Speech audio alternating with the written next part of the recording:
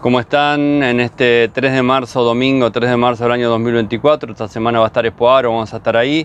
Hoy una tardecita hermosa. Recuerden que en Mar del Plata y la costa atlántica va a haber un, un evento climático muy fuerte que viene del Océano Atlántico, eh, que va a traer ráfagas, vientos, olas muy fuertes, muy graves, si, es que ya no está pasando.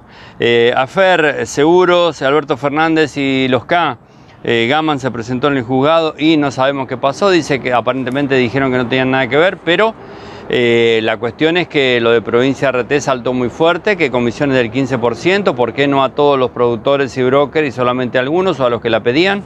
Eh, ¿Saben quiénes Gaman?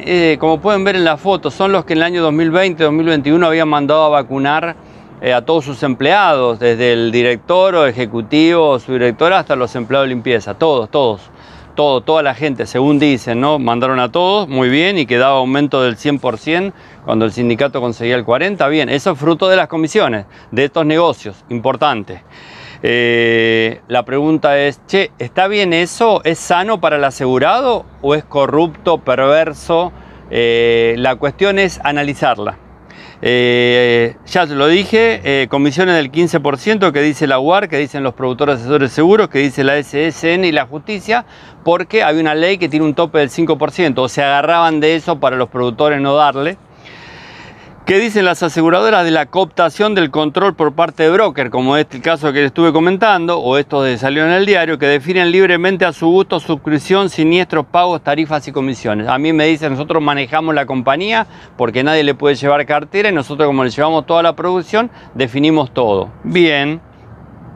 SSN en marzo lanzan lineamientos y reformas, abril lanzan cursos, si es que hay, Luego, rigidez y la regulación, debería haber una batería de inhibiciones y muchas suspensiones de emisión. A mi entender, porque hay compañías que están hoy con alta insolvencia, no están pagando, tienen embargos judiciales de la FIP y de muchos sectores, no están pagando, hay sentencias judiciales con, eh, con ejecuciones y no pagan, entonces ¿qué hacer con eso? Bien, entonces eso es lo que haría pensando en el asegurado en el tercero y también en la aseguradora y sus escasos activos, como también pensando en su productor asesor de seguros, que nadie le cuenta la realidad de la compañía, ni él quiere saberla, es decir, no va al médico para que no le digan el diagnóstico, no pregunta en la aseguradora para no decirle que está hecha percha o menos 10 o fondo del mar, ¿ok?